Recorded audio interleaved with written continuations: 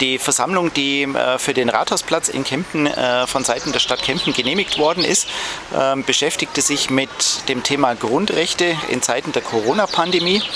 Äh, der Veranstalter bzw. der Leiter der Versammlung hat diese heute früh gegen kurz vor neun bei der Polizeiinspektion Kempten abgesagt. Dem Versammlungsleiter, der bei uns angerufen hat und gesagt hat, dass er die Veranstaltung heute nicht abhalten möchte, hat es begründet, dass die Auflagen, die von Seiten der Stadt Kempten in dem versammlungsrechtlichen Bescheid gemacht worden äh, seien, zu umfangreich seien und es ihm nicht möglich machen würden, diese Versammlung abzuhalten. Also es gab noch etliche Personen, äh, die heute an dieser Versammlung teilnehmen wollten, die von der Absage äh, durch den Veranstalter keine Kenntnis äh, bekommen haben.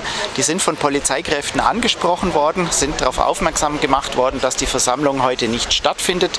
Zum Teil mussten Personen mit Platzverweisen belegt werden, äh, die sich von der Örtlichkeit nicht entsprechend entfernen wollten. In einem unteren zweistelligen Bereich äh, wurden Platzverweise ausgesprochen. Die Leute sind dann alle letztlich gegangen. Es hat die eine oder andere längere Diskussion gegeben, aber letztlich äh, haben alle den Platz entsprechend verlassen, nachdem sie auch darüber aufgeklärt worden sind.